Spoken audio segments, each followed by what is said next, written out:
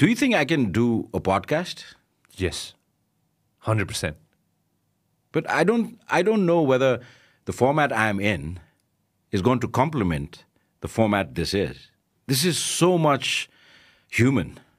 You know, we can actually come brushing our teeth and like, you know, teeth, sorry. People catch me on that.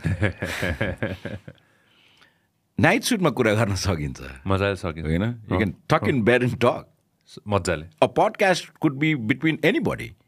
You and your partner Yeah. can actually, you know, could be very thought provoking, you know, You can start it with your daughter. whoever it is. Do it.